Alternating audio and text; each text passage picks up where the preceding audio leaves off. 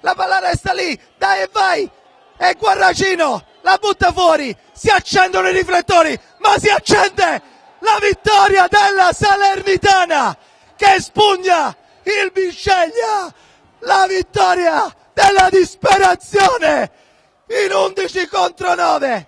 La Salernitana è riuscita ad espugnare il Bisceglia grazie al gol di Francesco Montervino al 39 del primo tempo. Poi doppia espulsione, tanto carattere, tanta grinta, tanto sudore e tutti a casa con i tre punti. La Salernitana sale sull'ottovolante, il passo della capolista, forza e onore, dal Bisceglie è tutto. Salernitana che spugna il campo della Versa Normanna per 1-0 grazie al gol del capitano Francesco Montervino.